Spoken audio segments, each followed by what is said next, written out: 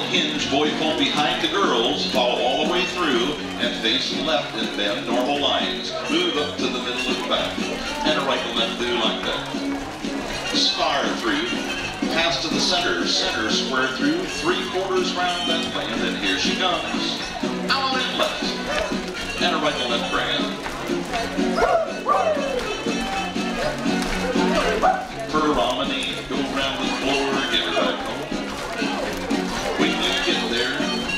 The side pair pass through and wheel around. Boy, back up, girl, that's flutter wheel to the sides. Keep going there. That's it. Sweep a quarter more in the middle.